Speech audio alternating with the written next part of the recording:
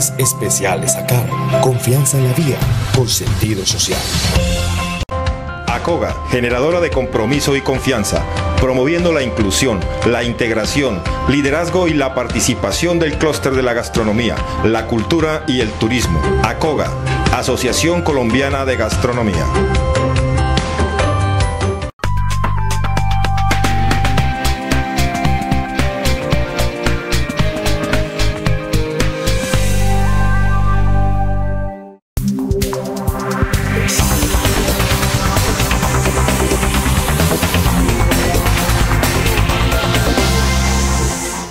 Yo soy Rómulo Marín y estoy orgulloso de ser papá. Soy Gerson González y estoy orgulloso de ser papá. Y tenemos algo más en común, nuestra pasión por los zapatos. El fútbol. Calzado Rómulos, bienestar para ellos.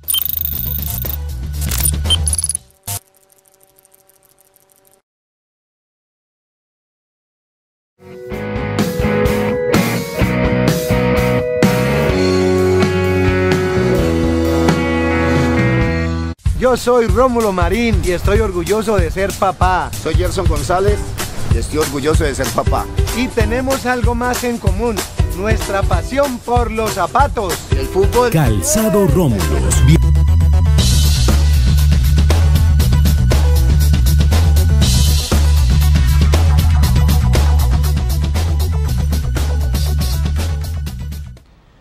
Amables televidentes, se los saluda José Alberto Tejada Echeverry, presentándoles el programa institucional del Canal 2 informativo Nuestra Gente. Hoy me acompaña en el estudio el ingeniero de sistemas Fran Ramírez Ordóñez. Él es el secretario de TICS de la Gobernación del Departamento del Valle, Tecnologías de la Información y la Comunicación. Y está con nosotros también don Gustavo Muñoz Sinisterra, presidente del gremio de empresarios vallecaucanos Grupo Multisectorial. A los dos los saludamos y les agradecemos haber aceptado la invitación a este programa. Buenos días. Bueno, muy buenos días, José, Gustavo, a toda la audiencia de este programa. Encantadísimo de acompañarlos y poder compartirles en esta mañana de la forma más amena posible qué se está haciendo en materia de tecnologías de información y comunicaciones en el Valle del Cauca. Buenos días, eh, Fran, buenos días, José Alberto, y buenos días a toda la teleaudiencia que siempre nos acompaña el primer día hábil de la semana con estos temas de interés para la región. Muy bien. Bueno, todavía somos muchas las personas que oímos hablar de TICs y todavía no nos queda del todo claro. Pero sí sentimos las TICs.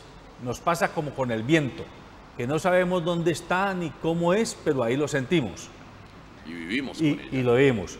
Hoy quiero comenzar, aprovechando que está aquí eh, nuestro secretario de TICS del departamento, pidiéndole que nos hable un poco de lo que se llaman las zonas Wi-Fi públicas en el departamento del Valle. Consultando información para este programa me encontré con que hay 199 zonas Wi-Fi ya instaladas en los diversos municipios del departamento de una meta de 150 aproximadamente que aspira la gobernación a dejar instaladas a final de su cuatrenio. Las zonas Wi-Fi públicas son aquellas que se ubican en parques, en zonas abiertas, donde los ciudadanos pueden acercarse y en un área a la redonda de 5.000 metros cuadrados, entre 5 y 10.000 metros cuadrados, toman la señal y pueden bajar información, pueden despachar información, es decir, mandarle el correo a la persona que usted quiere, la foto, el video, la canción, porque es zona wifi gratuita. Primero, ¿cómo es eso? ¿Cómo hace? Explíquenos a los que somos ignorantes de, de sistemas, ¿cómo hacen para que haya una zona wifi, por ejemplo, allí, al frente, en la zona de, de las canchas panamericanas? ¿Eso de dónde viene? ¿De un, de, de un satélite? ¿De una antena súper grande? ¿Cómo es? Explíquenos, por favor. Antes de hablar un poco ya de qué zonas tenemos, cuántas tenemos, qué servicios se tienen, voy a permitirme ubicar un poco más a, a todos los televidentes en por qué una zona Wi-Fi. Eso. ¿sí? Porque me parece importante entender el trasfondo de por qué. Por una razón sencilla. Hoy las TIC han permeado absolutamente todos los entornos de nuestra vida. Nosotros usamos las TIC para cualquier cosa. Yo invito a que cada uno donde esté ahí sentado hoy, ya está desayunando, si está apenas levantándose, alistándose o ya en la oficina, diga, venga, cuando yo quiero ir a cine, cuando yo quiero ir a un restaurante, cuando yo quiero comprar algo, cuando yo quiero eh, buscar eh, alguna información importante para mi trabajo, cuando quiero encontrar un lugar a donde ir, ¿qué es lo primero que hago? La respuesta es sencilla, buscar en Internet. Hoy en día usamos la Internet, usamos las TIC a través de nuestros smartphones, nuestros computadores, todos los diferentes dispositivos para la vida cotidiana. Entonces, entendiendo eso, pues el Estado no puede ser ajeno a eso y tiene que garantizarle a los ciudadanos que puedan hacer esa inclusión y tener ese acceso a la tecnología. Acceso que pues algunos tendrán la capacidad de tener un plan de datos o tener internet en su hogar, pero hay otros que no. Y a esos pues no les podemos decir simplemente ustedes no pueden acceder a eso o ustedes no pueden llegar y hacer ejercicios de comercio electrónico, o ustedes no pueden llegar a hacer ejercicios de educación mediados por ti, o ustedes no pueden llegar a hacer tantas y tantas cosas que hoy son posibles a través de esta interacción eh, en la Internet. Entonces, bajo esa premisa, entendiendo la importancia de por qué necesitamos tener una comunidad con acceso a la tecnología, con acceso a Internet, el gobierno nacional, a través del Ministerio de las TIC, lideró en su plan TIC de Colombia, que ya culmina ahorita en el 2019, porque fue un plan de, de, ocho años que se vino haciendo, y se fue ajustando y tenía una meta de mil zonas Wi-Fi en Colombia. La señora gobernadora, que es una mujer bastante visionaria que entiende también el contexto y la importancia de lo que es la transformación digital en el entorno del departamento, cuando arrancamos a formular en el año 2016 el plan de desarrollo, me preguntó, Franny, ¿a qué le vamos a apuntar? ¿A qué cosas? Ahora les voy a contar otras más. Pero una de las importantes fue que dijimos, hay que garantizar acceso a la conectividad, acceso a la tecnología, y nos pusimos una meta muy ambiciosa y fue que la meta nacional, que eran mil, nosotros copáramos el 10% de la meta.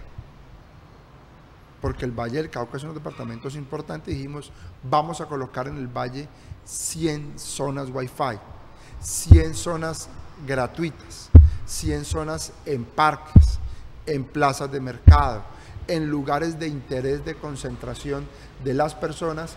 ¿Para qué? Pues para que puedan hacer todas estas cosas que le permite hacer la tecnología que estamos explicando. Y les quiero contar una muy buena noticia. Gracias a una gestión que venimos adelantando, esa meta está ampliamente superada. Hicimos una gestión con el Ministerio de las TIC y arrancamos en una fase preliminar donde implementamos ya 31 zonas Wi-Fi desde el año pasado.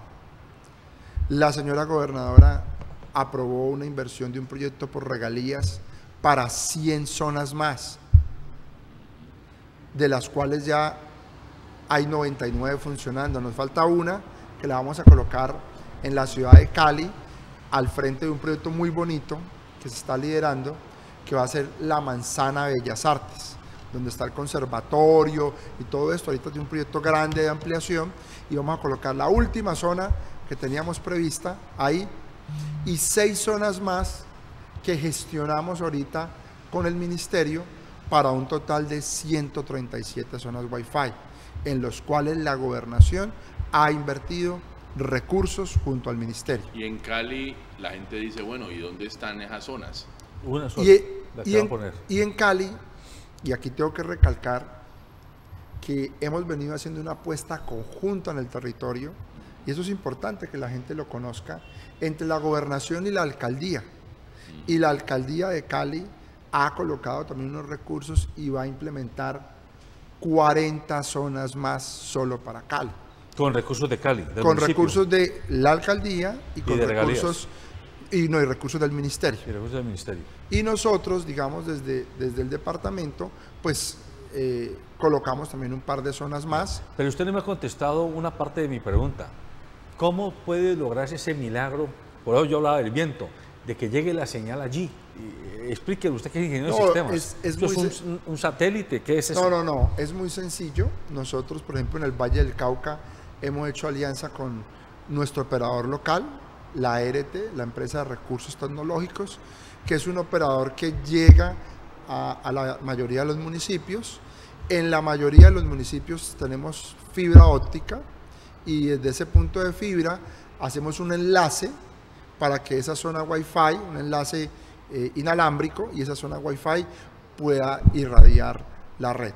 Entonces, eso sucede en cada uno de los municipios. Algo importantísimo es que absolutamente los 42 municipios del Valle tienen zonas Wi-Fi gratuitas. Permítame, le pregunto con la venia aquí de, de don Gustavo. Leyendo la información encuentro que Jamundí y, y Palmira son los dos municipios donde hay mayor número de zonas Wi-Fi eh, eh, financiadas por la gobernación, cinco en cada municipio, seguidos de Tuluá y Yumbo con cuatro en cada municipio. ¿Cuál es el criterio con el que se le ha dado más zona eh, wifi a Jamundí y a Palmira que no a otros municipios como Buga o Buenaventura, etcétera? No, al final, como les dije, como eso tuvo varias fuentes de financiación, unas por el Sistema General de Regalías y otra por gestión hecha por la gobernadora frente al ministerio, el criterio fue que los ocho municipios grandes del departamento tuviesen mínimo cinco zonas. Bueno, saquemos Cali, porque ya les conté de Cali el ejercicio que están haciendo de 40 zonas más. Demos los otros siete. En los otros siete, Buenaventura, Jamundí, Jumbo, Palmira, Buga, Tuluá y Cartago tienen en total cada uno cinco zonas Wi-Fi. Ah, ya. Todos, esos siete municipios tienen cinco O sea, zonas comparten la financiación. de las cuales, por ejemplo, en el caso de Buga, cuatro fi- cofinanciamos nosotros y una eh, se hizo la gestión para que el ministerio la financiara completamente. Pero todo fue articulado para que quedara equitativo en los municipios que tienen más de 100 mil habitantes. Y el otro criterio fue que mínimo, mínimo, cada municipio tuviese dos zonas Wi-Fi. Entonces municipios tan pequeños eh, y tan distantes como el Águila, como el Cairo, que nos, hay que recalcarlo, es más costoso hacer una zona Wi-Fi en el Cairo que hacer las cinco tal vez de UGA. Tal vez. Hacer una, ¿por qué? Porque llegar allá eh, es más dispendioso, el valor de la conectividad, todo lo que implica eso. Pero la gobernadora quiso que hasta el lugar más apartado tuviese esa conectividad. Y por eso hemos logrado de que eh, en todo se tenga esto y digamos eh, se ha hecho una distribución lo más equitativa posible para que todos los vallecaucanos puedan tener acceso a internet. Pero para explicarle un poquito más a la gente y lo que decía José Alberto, las zonas Wi-Fi que está instalando la gobernación está basada en la red de fibra óptica de la RT y esa red de fibra óptica se conecta inalámbricamente, así como lo tenemos con los celulares y todo eso, por eso es que sentimos cuando tú hablas que está en el aire. Y pero esa red de fibra óptica se comunica a través o de unos cables submarinos o de unos satélites, tú nos dirás por dónde, a los servidores donde está toda la información de, Estados- de, de Internet, normalmente en Estados Unidos. O sea, trae la información de allá. Lo que pasa es que aquí la red de fibra óptica de la, de la gobernación y la comunicación inalámbrica hace que nosotros sintamos que está en el aire, pero al último estamos conectados a unos supercomputadores que tienen toda la información de las páginas web cuando nosotros vamos a investigar de alguien, vamos a investigar una, una tecnología que es la gente que paga esos dominios allá. Entendemos que hubo un cable submarino instalado desde Buenaventura hasta, hasta Estados Unidos, pues, ¿Cómo es esa conexión de cable submarino ahí y cómo está? Muy, muy importante la pregunta porque me permite también hablar de unas alianzas que hemos venido haciendo. La gobernadora ha querido también de que empecemos a fortalecer el ecosistema de innovación digital del departamento. Por eso es que hemos venido trabajando para articular con todos los municipios este tipo de iniciativas y otras más que eh, trataremos de poderle contar a todas las televidentes. En este caso, la ART, que es el operador que tiene presencia en más de la mitad de los municipios del Valle del Cauca, el operador que le provee el servicio de Internet a la ART, y eso se hizo apenas en esta administración, porque antes se le compraba a operadores externos, aquí se le está comprando a Encali. Y en Cali, como tal vez muchos conocen, tiene un cable submarino que llega a Buenaventura, que tiene una red muy, muy, muy grande, muy buena, que tal vez pues no estaba también siendo usada a su, a su mejor capacidad. Hemos querido, eh, yo hago parte de la junta directiva de la RT, en Cali también nos acompaña ahí, y hemos querido que la RT con su gerente hagan esa alianza y ya está cristalizada y por eso es que hoy digamos que la totalidad de las zonas están con operadores locales y eso, y eso es importantísimo recalcar porque eso no pasa en el resto del país. En el resto del país, incluso, que mencionarlo, la ART tiene zonas de Wi-Fi, tiene 200 zonas de Wi-Fi por fuera del valle, porque ha licitado y se ha ganado los concursos. Pero aquí digamos que fuimos como cerrando baterías en que pues los operadores nuestros que tienen toda la capacidad y la calidad para hacerlo, pues lo hicieran. Por ejemplo, las 40 zonas que va a hacer en la ciudad de Cali, las va a hacer en Cali. Ingeniero, en esa misma línea, pero entendiendo que las zonas wifi son zonas donde el ciudadano va a buscarlas. Yo estoy vivo en una zona alejada de Cali y me vengo aquí a las canchas panamericanas o al Parque de las Banderas o al Boulevard, zonas donde se van a poner, o a la zona de Bellas Artes, donde va a haber zona wifi. Pero también hay otro proyecto u otra estrategia que es llevar la señal a donde están los campesinos y los pobladores más alejados de los centros urbanos a través de los puntos Vive Digital, los llamados kioscos. Háblenos un poco de eso, que esa es la otra cara de la moneda cómo integrar a ese campesino, a ese poblador de los corregimientos y veredas, para que también a él le llegue la posibilidad de integrarse a las TICs. Muy importante eso porque permite que podamos explicar un poco todo el contexto de la apuesta que se tiene en el Valle del Cauca. Primero, les contaba ahorita el plan de desarrollo El Valle está en voz, en donde tenemos una gran apuesta y un programa que hemos denominado Valle Territorio Inteligente e Innovador. Y en esa apuesta de un valle territorio inteligente e innovador, se han logrado cristalizar unas metas para poder fortalecer un ecosistema de innovación digital. Y ese ecosistema parte de tener una infraestructura. Y esa infraestructura en el Valle del Cauca, pues la representan nuestros puntos Vive Digital y nuestros kioscos Vive Digital, que son lugares donde la gente puede llegar a tener acceso con la tecnología. En la zona Wi-Fi lo hace con sus propios dispositivos, pero en los puntos y kioscos tenemos los computadores, tenemos las herramientas, tenemos software especializado en algunos para que la comunidad pueda hacer esa apropiación de las TIC. Pero es importante recalcar la diferencia. Punto Vive Digital. En el Valle del Cauca hay 92 puntos Vive Digital. ¿Ubicado principalmente en dónde? ¿Dónde se ubican los puntos Vive Digital? En las zonas urbanas de los municipios. ¿Y en esas zonas urbanas en donde escuelas, La mayoría están en, eh, hemos venido haciendo un esfuerzo para que queden en, instituciones educativas. Hay de tres tipos de puntos.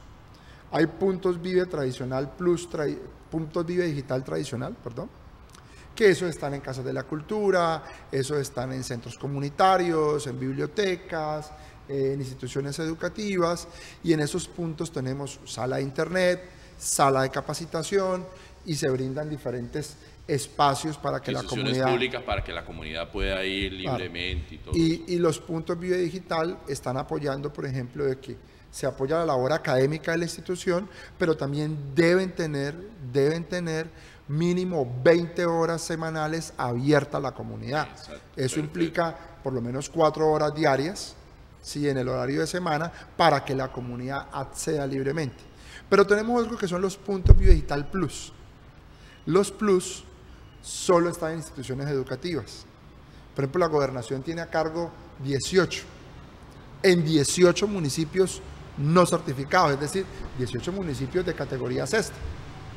En esos puntos Vive Plus, aparte de todo lo que les conté, tienen un mini estudio de televisión donde pueden hacer programas como este, con cámaras, con tecnología y un mini estudio de radio, donde en muchos de esos puntos hemos encontrado cosas geniales chicos que eh, han empezado a hacer cosas eh, simplemente porque no tenían nada que hacer en la casa y se han ido al punto, y eso es un testimonio real de un punto en la ciudad de Tuluá. El chico se fue al, al- al punto, allá le dieron un, un curso de animación eh, digital y empezaron a hacer eh, eh, otro curso de cómo componer música con el computador y pues el chico empezó a hacer eso, le gustaba la música, montó eso a YouTube, no sabía qué era eso antes, lo montó y por allá lo contactó una persona de Italia y le dijeron, oiga, eso que usted hizo nos gusta. Yo así yo lo hice en el punto. Y usted nos puede producir esa música para nosotros. Nosotros somos una cadena europea que yo no sé qué. El resumen de la historia es, ese chico yo creo que hoy ya no está acá. Es un testimonio del año pasado. No había terminado el bachillerato. Ya pues no iba al punto porque lo habían contratado en esta empresa eh, para trabajar a través de internet y le estaba haciendo la producción musical desde Colombia. Ya él obviamente había comprado equipos más potentes en su casa, había montado su propio estudio, pero estaba facturando gracias a un trabajo de promoción y apropiación que se hace ahí. Los kioscos Vive Digital, para cerrar un poco, tienen un foco diferente. Los kioscos están en las zonas rurales, puntos urbanos, kioscos rurales. Tenemos 424 kioscos Vive Digital en lugares en el Valle del Cauca que aunque no se crean, hoy algunos kioscos son el único punto de contacto de Internet que tiene la comunidad. Estamos hablando que nosotros hacemos cada año, al finalizar, un encuentro que se llama el Encuentro de Líderes Transformadores Digitales del Valle. Ya hemos hecho dos versiones, año 2016-2017, y este año vamos a hacer la tercera versión, donde citamos a los 92 administradores de puntos, a los 40 y 424 gestores de kioscos, a los 42 CIOs de los municipios, que ya les hablo de eso, los directores de TI, en un encuentro de más de 600 personas, y para que se den una idea, tenemos gente que para llegar al encuentro nuestro se echa dos días. Tenemos kioscos en Punta Soldado, por allá en la zona rural de Buenaventura. Buenaventura es de los municipios que más kioscos tiene. Tiene más de 60 kioscos Vive Digital. Además, yo sé que la gente, más que todo de la tercera edad y los familiares que tienen muchos emigrantes viviendo fuera del país, están aprovechando estos puntos para hacer videoconferencia o llamada o comunicarse por internet con sus familiares de otros Así países. Es. Aparte del emprendimiento, del conocimiento, de adiestrarse en tecnologías TIC, les ha servido estos puntos para comunicarse con sus familiares y hacer videoconferencias y todo eso, y uno lo ve acercándose en estos puntos haciendo ese tipo de cosas. Dos casos de éxito puntuales. Tenemos un, caso de una señora, no me acuerdo ahorita del municipio, que tenía problemas con su cultivo porque tenía una plaga y se le estaba acabando el cultivo. Ella fue al kiosco sin saber manejar internet, sin saber manejar el computador y le dijo, ¿será que yo aquí puedo encontrar qué es lo que me está pasando? Pues la gestora del kiosco le ayudó, dijo, tráigame la foto de lo que la plaga que le está pasando, la buscaron por internet, encontraron qué se podía hacer para combatir la plaga y lo implementaron. Pues la señora salvó su cultivo, salvó su, su patrimonio gracias a tener un acercamiento con la tecnología.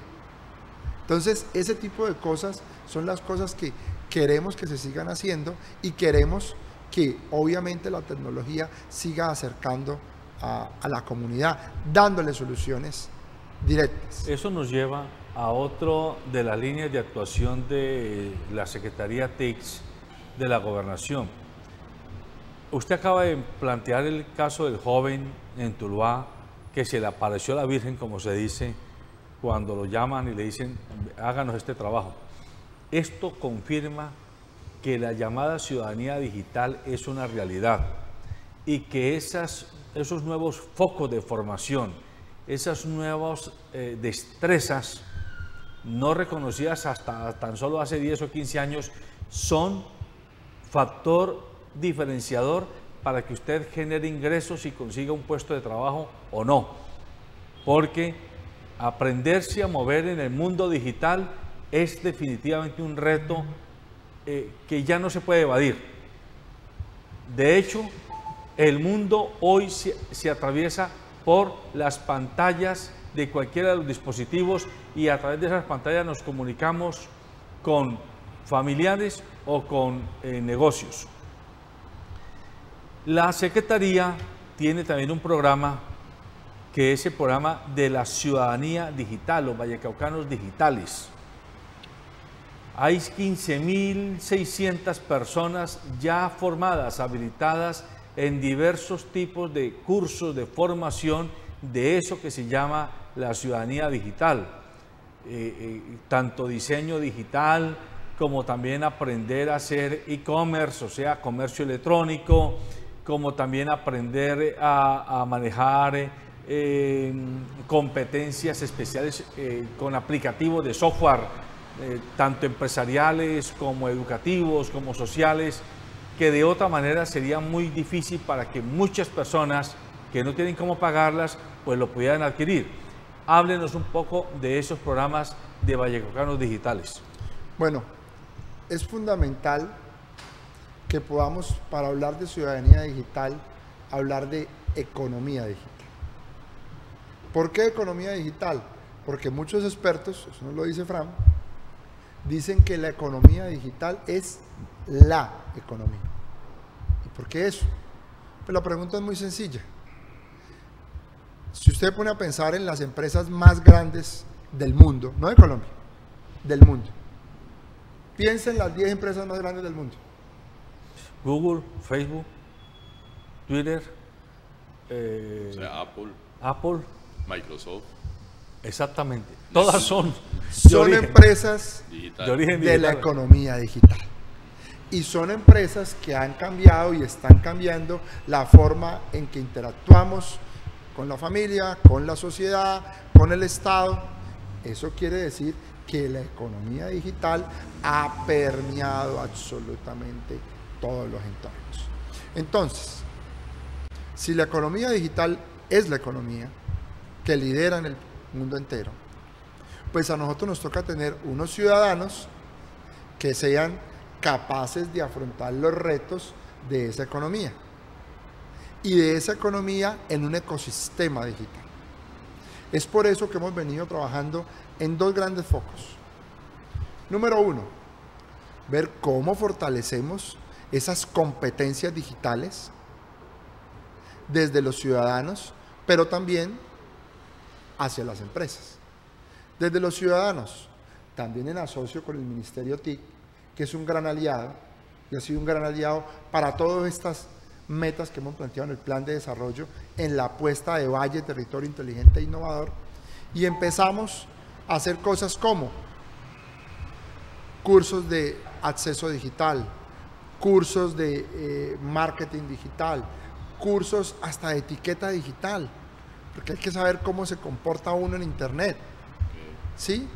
Y hicimos algo fundamental desde el año pasado, y es que hemos armado un gran plan de promoción y apropiación.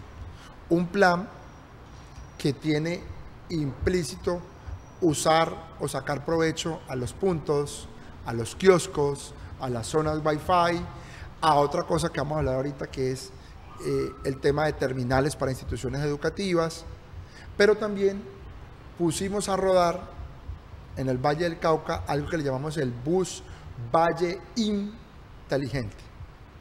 Hicimos un asocio entre nuestra Secretaría de Desarrollo Económico y Competitividad y entre la Secretaría TIC y en este uso inteligente que hoy recorre los municipios del Valle del Cauca con conexión a internet, con unos equipos de última tecnología y llegamos a donde no hay acceso.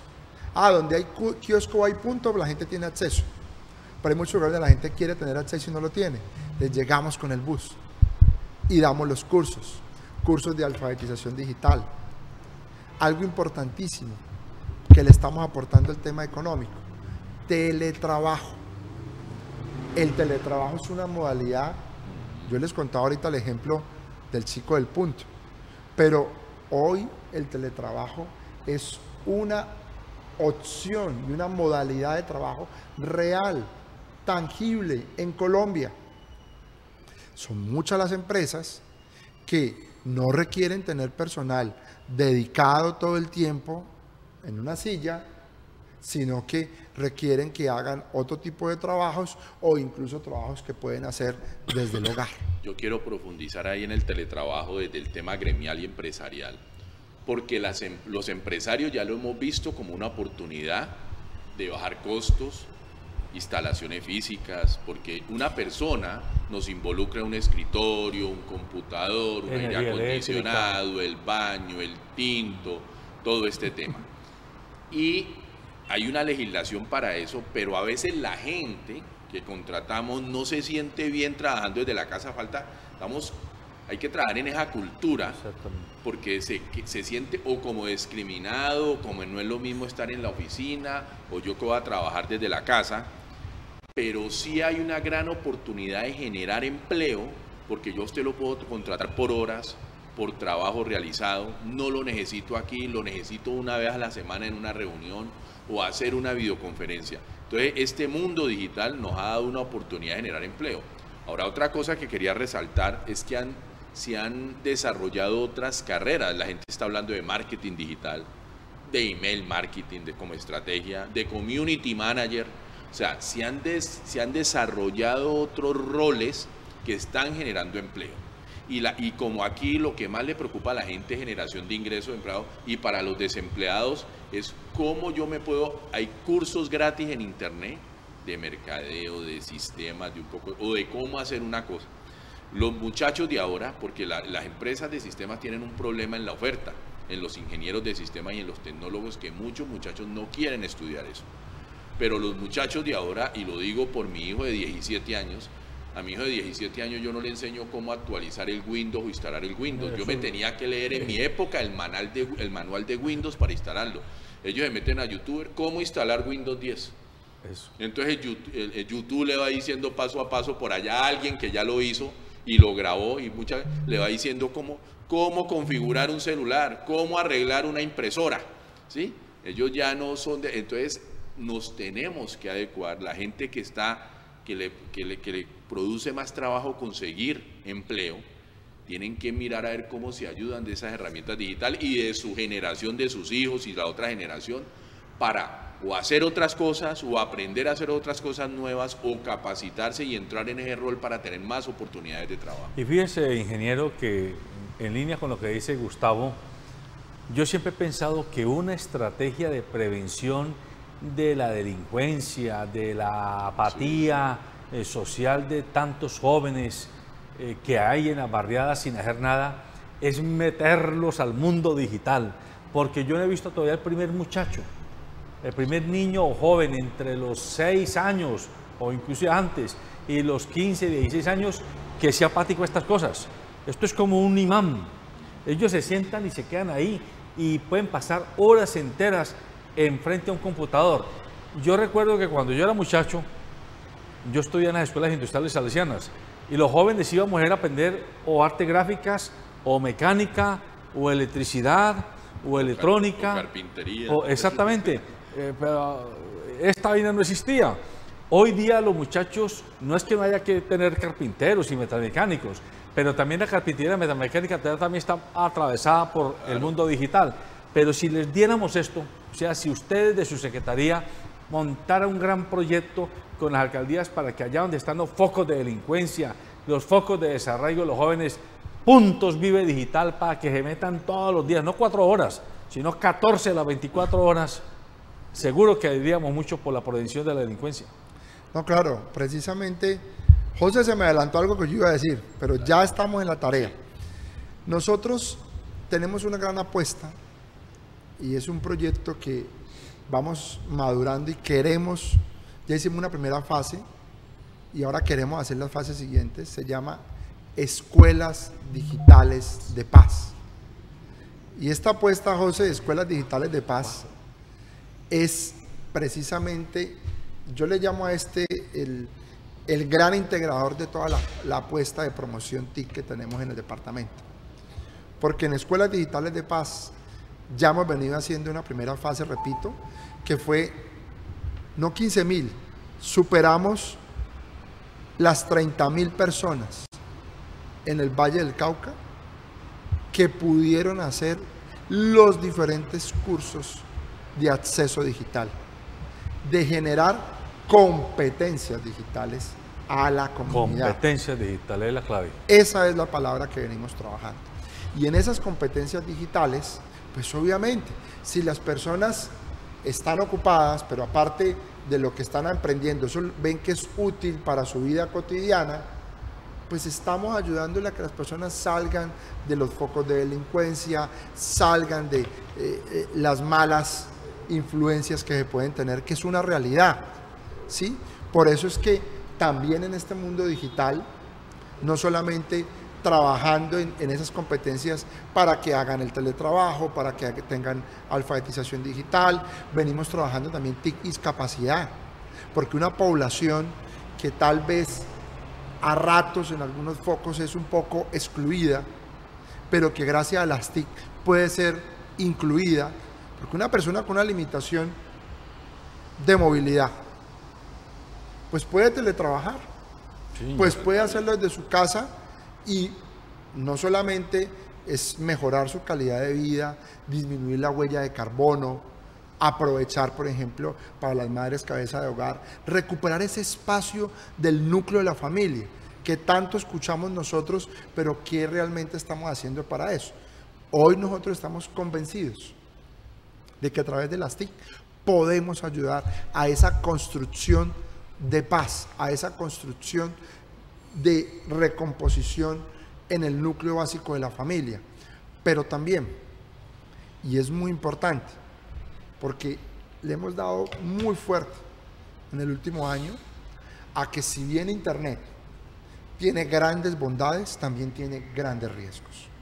Y por eso es que a la par que trabajamos en competencias digitales para los más grandes, eh, los adultos, todas las personas que puedan generar este tipo de conocimientos, con los más chicos, que ellos son nativos digitales, a ellos, como lo decía Gustavo, no hay que enseñarles, ellos ya saben, mi hijo que tiene nueve años, mi hijo ya sabe que cualquier cosa que él no sepa, dice, papá, busquemos en YouTube que alguien nos dice.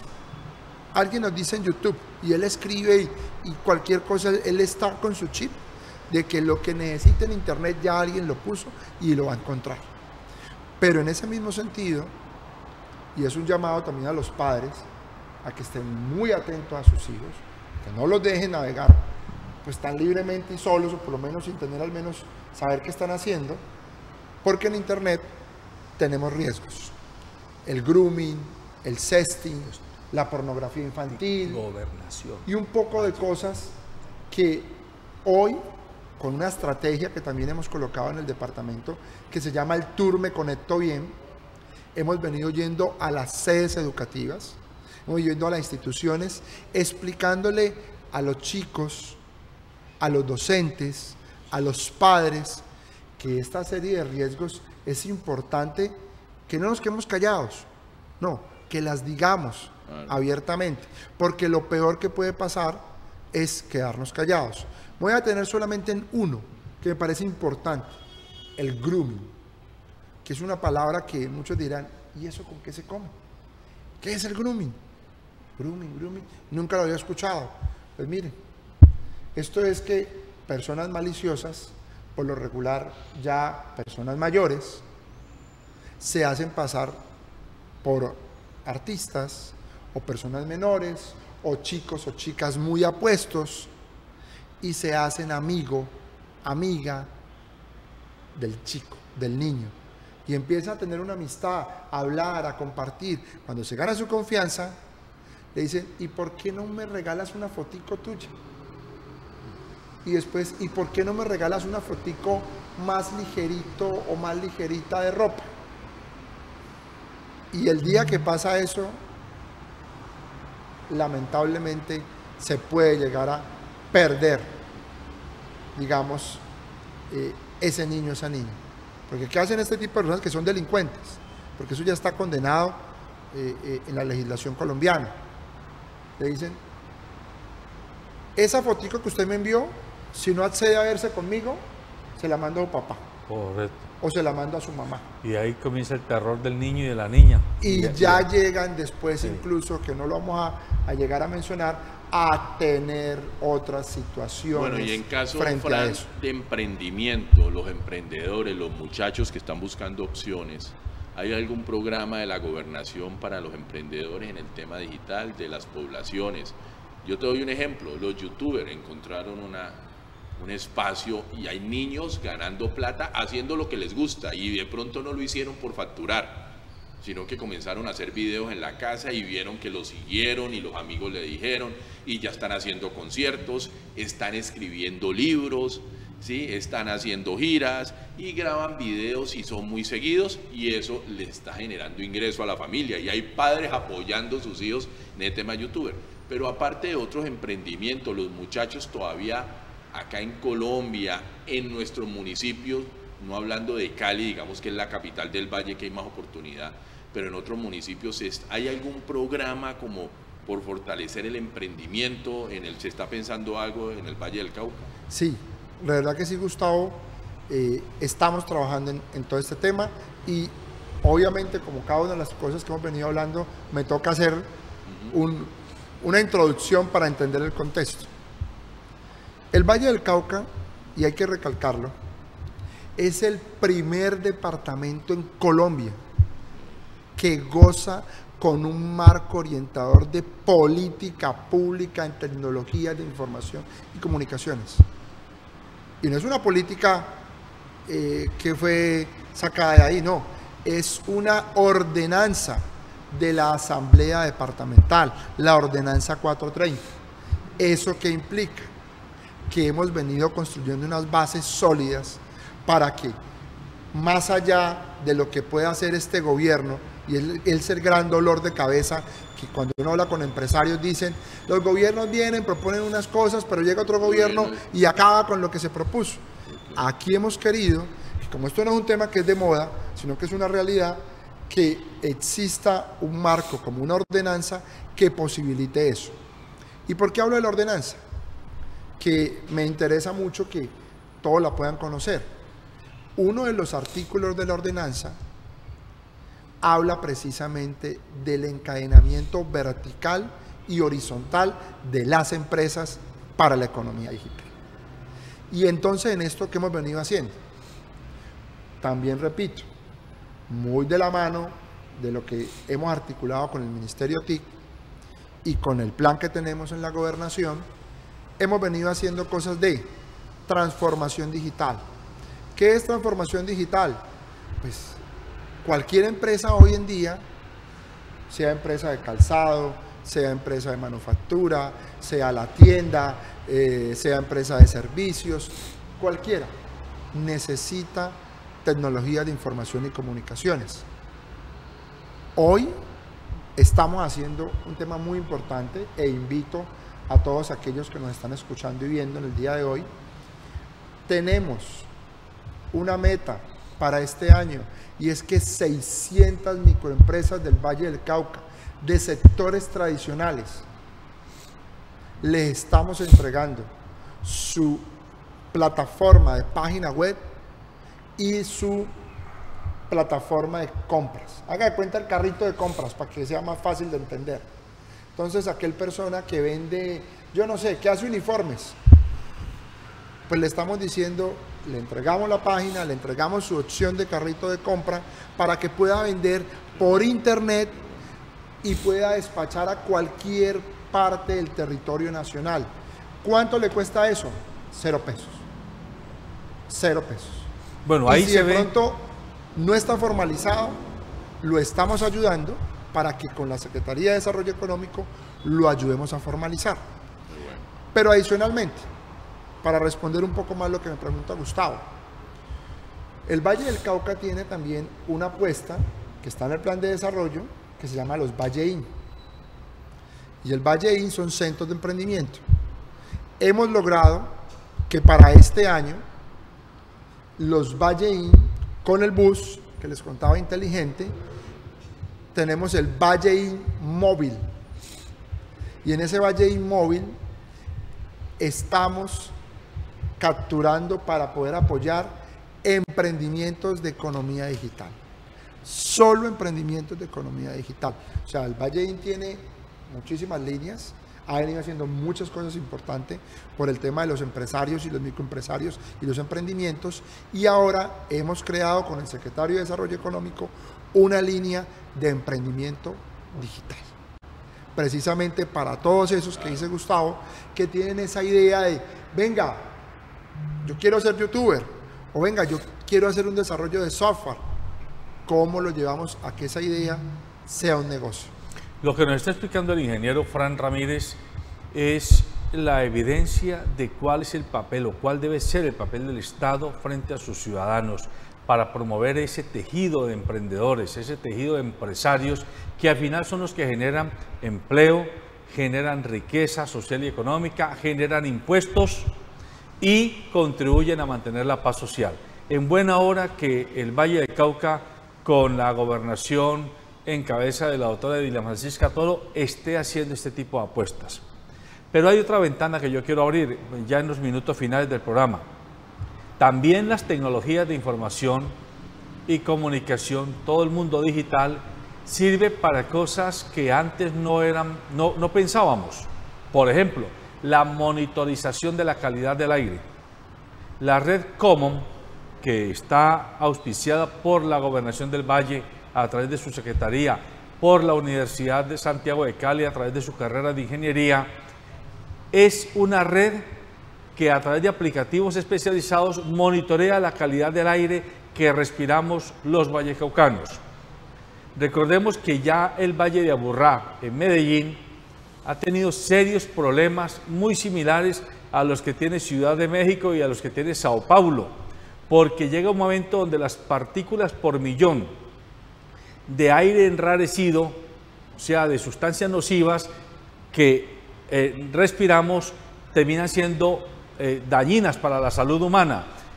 Y además de la visibilidad y todo, lo, eh, todo lo, pertinente con la movilidad humana. Pues aquí se ha creado ya un programa experimental que parece estar dando muy interesantes resultados y yo quisiera pedirle a usted que nos explique cuál es el puntal de desarrollo al que apunta la red Como. Bueno, el tema de TIC va muy ligado a innovación. Y la innovación es hacer disrupción, es decir, hacer las cosas de forma diferente.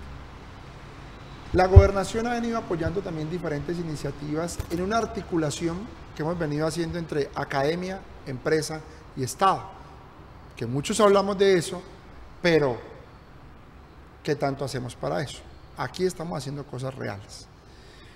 Con un grupo de investigadores eh, de la Universidad de Santiago de Cali, que vienen trabajando con otro estado del gobierno español y con otra universidad de ese mismo gobierno, hemos venido entendiendo que hoy algo que se llama el Internet de las Cosas que es muy sencillo. ¿Qué es? Dispositivos que se conectan a la Internet.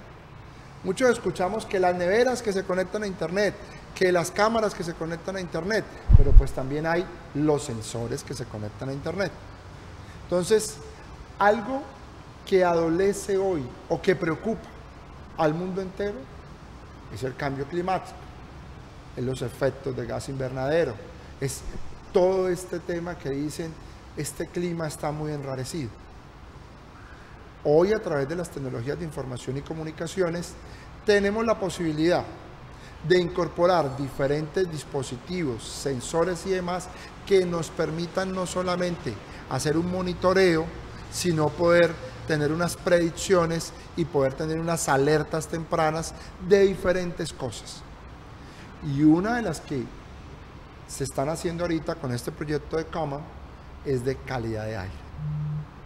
Cali, el Valle del Cauca, cada vez están creciendo esos índices de polución.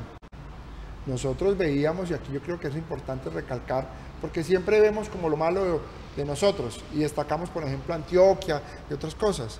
Pero mira el problema tan grave que tenía en Antioquia, en Medellín, con calidad de aire. Gravísimo. Ya cuando se vieron que la capa de contaminación era tan grande, empezaron a tomar unos correctivos. Aquí hay que recalcar que en el valle no estamos esperando a llegar a esos grados de contaminación, sino que estamos haciendo ejercicios como este que nos permitan empezar a tener datos. ¿Por qué? Porque en todo este tema de lo digital, los datos o la data, como le llamamos nosotros, permite hacer un análisis y con ese análisis empezar a tomar decisiones. ¿qué falta, como se nos está acabando el tiempo, qué falta por implementar en el plan de la gobernación en el tema de TIC en el Valle del Cauca de aquí al, a terminarse el periodo de la gobernadora, que termina diciembre del 2019? Bueno, estamos trabajando muy arduamente porque tengo una instrucción de la gobernadora y es que debemos culminar el plan de desarrollo en su totalidad. Eh, para chulear qué falta, hay que decir que ya hicimos, hicimos lo de, por ejemplo, estamos entregando 46 mil terminales, tabletas a las instituciones educativas del Valle. Ahorita, en los próximos dos meses, acabamos la entrega y vamos a ser de los primeros departamentos, creo que vamos a ser el primero, en tener dos niños por terminal. Eh, estamos mejorando el tema de conectividad, estamos haciendo un proyecto en este momento que se llama Redit, que es la red digital inteligente del Valle que va a estar Dios mediante eh, para presentarlo en regalías este año, implementado el otro año, donde vamos a interconectar los 34 municipios no certificados y un gran número de estas sedes educativas. Eh, estamos, eh, digamos que lo que estamos haciendo es de una de lo que nos está quedando por, por hacer. ya chuleado, por ejemplo, el tema de servicios, hicimos lo del pasaporte inteligente, hicimos lo de la ventanilla única inteligente para ahorrarle tiempo a, la comunidad. en ese punto, permítanme lo interrumpo. en el fin de semana, eh, el periódico regional sacó la noticia de que ya la alcaldía de Cali tenía el dispositivo que permitía que cualquier ciudadano entre a consultar el uso del suelo de los inmuebles eh, que posee, pues, o que le interesan. Usted acaba de hablar del pasaporte inteligente el Estado inteligente es necesario. Es decir, necesitamos que el ciudadano, en lugar de hacer colas allá en Cali o a Catastro Municipal o a la Gobernación del Valle para pagar el impuesto automotor o el impuesto predial o el impuesto de industria y comercio y tantos trámites que se requieren, que uno pudiera a través de unos aplicativos con claves especiales tirar cuánto vale y qué es lo que tengo que pagar, aquí está el formulario y de una ir al banco. Y ojalá que el banco también uno pudiera ir a la esquina a un punto de recaudo y pagar sin necesidad de fila. Eso se llama economía crucial, porque es que el tiempo muerto que pierde el ciudadano haciendo filas de hasta cuatro horas en el CAM o en la gobernación y en los bancos de hasta dos horas es plata que se pierde para todos. Con la mala atención a veces de, ahí pues, hasta en los bancos. Indiscutiblemente necesitamos seguir avanzando en un gobierno inteligente. Gobierno inteligente. Y ese, digamos, es lo que hemos venido haciendo. Por recalcar, por ejemplo, el tema de pasaportes. Hace dos años, siempre lo hemos dicho con la gobernadora, la primera noticia que salió, 2 de enero, las largas colas de la gobernación para sacar pasaporte. Sí, era una vuelta a la manzana. Todo el mundo lo conoció. Fuimos primera plana en todos los medios nacionales y locales. Hoy en día, gracias a un esfuerzo, también a un trabajo conjunto con la Secretaría de Seguridad y Convivencia, con la Subsecretaría de Pasaportes, porque en esto es importante recalcar que la Secretaría de TIC es transversal y es un dinamizador que apoya otros procesos. Pero para resumir, hoy la gente a través de el celular, tenemos una aplicación móvil en donde usted puede hacer el primer pago del tema de pasaporte por internet. O si no tiene cómo pagar, puede, le da la ubicación del punto gane más cercano geográficamente para que haga ese pago. Pide la cita por internet.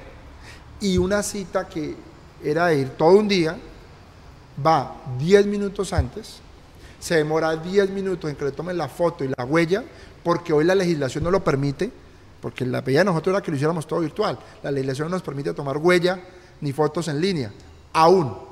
Yo diría que allá podemos avanzar más adelante. Pero después de eso, la persona ya, si quiere también, a la casa se le envía el pasaporte. Es decir, estamos logrando que la tecnología le facilite la vida a las personas. Lo de la ventanilla única de registro, muy importante. La gente encontramos, encontramos una cosa delicadísima. Y es que mucha gente cree que tener la escritura de su bien inmueble es tener la casa. Y eso no es cierto. Su bien es suyo cuando usted tiene el certificado de tradición. Entonces, algunas personas, por no pagar lo que llamaba el impuesto de letra fiscal, se quedaba con la escritura y después, cuando sacaba el certificado de tradición, aparecía el nombre de otra persona. Entonces, minimizando ese riesgo y también nos permitió aumentar la renta del departamento, las personas hoy van a la notaría, ya no notaría, gobernación, gobernación, notaría, notaría, no, a la notaría. Y en la notaría hacen todo su trámite, le liquidan su boleta, lo puede pagar y le acorta realmente el tiempo, pero también teniendo la tranquilidad y la seguridad de que cuando termine su trámite, su bien, que tal vez son los ahorros de toda su vida, están seguros. Bueno, agradecemos al ingeniero Fran Ramírez Bien. por estas interesantes noticias que nos ha dado en esta mañana sobre las apuestas que tiene la gobernación del departamento del Valle en el tema de ciudadanía digital, economía digital, educación digital, salud digital, medio ambiente digital. Es decir, el gobierno inteligente debe llegar a todos los aspectos de nuestras vidas y a todos los sectores en los que tenemos intereses empresariales, familiares o sociales. Hay una realidad que él acaba de decir. La tendencia de la dinámica eh, global es que cada vez existirán menos trámites eh, largos físicos, como todavía vemos hoy. Por ejemplo, a mí me encantaría que llegue cuanto antes un trámite que permita que al pensionado no lo pongan a hacer esas filas. Eso también tiene que ver con el Estado, no con el Estado departamental, pero es Estado. Sí, la No, tecnología, no, la no, tercera. no hay derecho, no hay derecho que un viejo o una vieja que trabajó 35, 40 años, muchos de ellos, ahora tengan que madrugar a las 4 de la mañana hasta el mediodía para reclamar una pensión que eh, generalmente es mínima, eh, es, es el salario mínimo. O a la salud también. O, las o a la salud, GPS, esas, pues, esas no, no. citas de señoras y señores ya eh, eh, de la tercera y cuarta edad haciendo filas y esperando cinco y seis horas a que los atiendan. Debe existir un desafío colectivo, comenzando por los gobiernos y animado por nosotros, los agentes sociales y empresariales privados, para que la ciudadanía digital y el Estado inteligente sean una, real- una realidad. En buena hora lo que está haciendo la gobernación del Valle y en buena hora lo que usted, porque ha sido el único secretario de TICS que ha habido en la gobernación, ¿no? Eh, no, ya, eh, digamos, desde En este gobierno. en este gobierno, sí, en este gobierno. en Es- este ha sido el único secretario. Único secretario. El único secretario y todo indica que va a terminar el periplo de la gobernadora en diciembre del 2019. En buena hora y le pedimos que usted use nuestro canal para nosotros expandir esta información porque creemos que este es el camino. Necesitamos un Estado más amigable, más cercano y más ágil para que usted no sienta esa rabia y esa frustración de tengo que ir a pagar, pero es como si me estuvieran haciendo un favor cuando el que está tengando la pata soy yo al propio Estado. Buenos días.